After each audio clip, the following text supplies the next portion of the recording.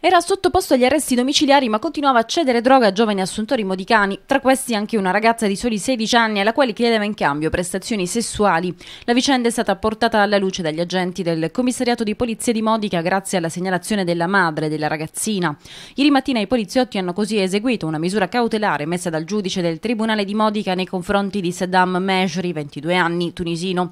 In particolare gli investigatori hanno appurato che il giovane nordafricano che si trovava ai domiciliari per i reati di droga, ricettazione e detenzione illegali di armi, era solito ricevere la sedicenne alla quale cedeva dosi di stupefacente e con la quale consumava atti sessuali non curante della sua giovane età e dei disturbi della personalità di cui la ragazzina era affetta. Era stata la madre della giovane preoccupata per le frequentazioni della figlia, in particolare di quella con un cittadino straniero del quale sembrava essersi invaghita a dare il via alle indagini.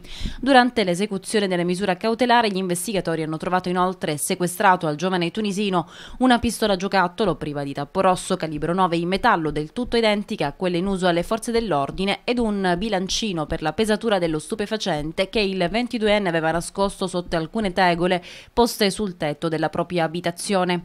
Infine, sempre durante la perquisizione, i poliziotti hanno scoperto che il giovane si era allacciato abusivamente alla rete elettrica dell'Enel tramite un cavo provvisorio. Per questo motivo è stato arrestato anche per il reato di furto di energia elettrica.